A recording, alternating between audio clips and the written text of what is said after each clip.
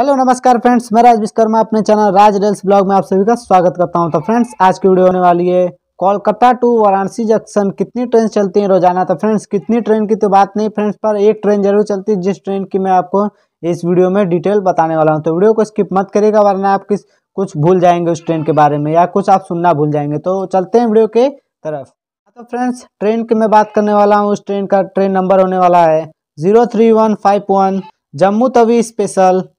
जो कि कोलकाता से दोपहर के ग्यारह बज के पैंतालीस मिनट पर निकलती है और आपको पंद्रह घंटा पाँच मिनट तीस स्टॉप को कवर करते हुए आपको वाराणसी जंक्शन ये ट्रेन छोड़ती है। तो फ्रेंड्स, अगर आपको मेरी वीडियोस यूट्यूब सर्च लिस्ट में नहीं मिलती है तो आपको फ्रेंड्स करना ये है कि आप जिस जगह पे भी जाना चाहते हैं, उस जगह का नाम लिखिए और आखिरी में मेरे चैनल का नाम राज रेल्स ब्लॉग लिख के सर्च करिए और मेरा वीडियो सबसे टॉप पर आएगा। तो अगर आपको वीडियो आया, वीडियो में आया मज़ा तो वीडियो कर दे लाइक, चैनल सब्सक्राइब। मिलते हैं नेक्स्ट वीडियो में, तब तक ले धन्यवाद।